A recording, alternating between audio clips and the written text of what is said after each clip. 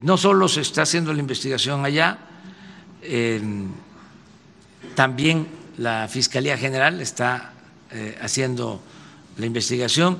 Eh, se está investigando desde Hacienda, desde inteligencia financiera, para ver todo lo relacionado con lavado de dinero, con movimiento de recursos.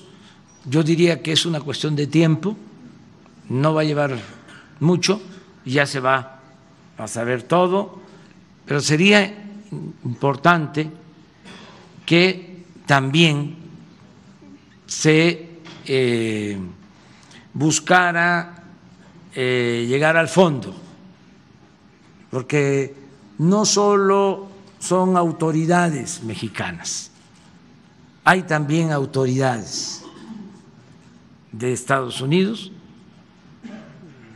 funcionarios de las distintas agencias que participan en operativos conjuntos.